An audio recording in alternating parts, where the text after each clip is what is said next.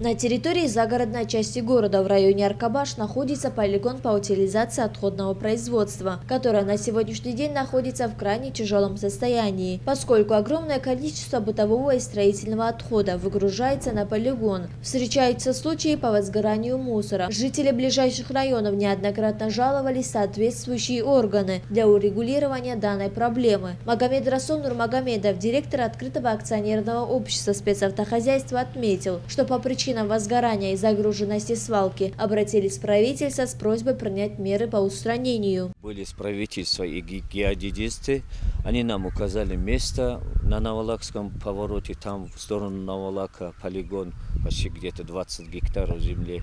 Но это уже свалка, уже здесь выгружать негде. Если хоть толкнем, он будет гореть.